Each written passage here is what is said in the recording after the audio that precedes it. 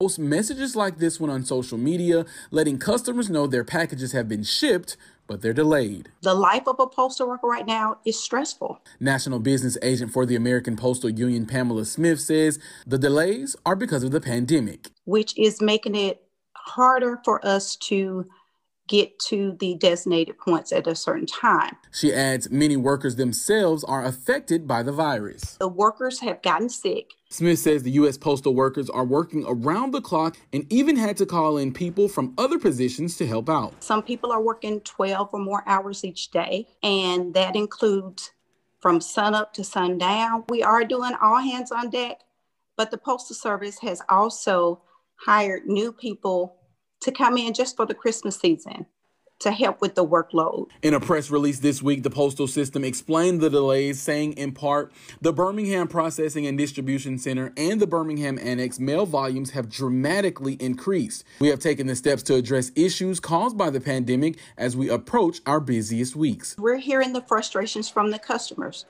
The customers are coming to the window expressing their need to look for packages. We hear you.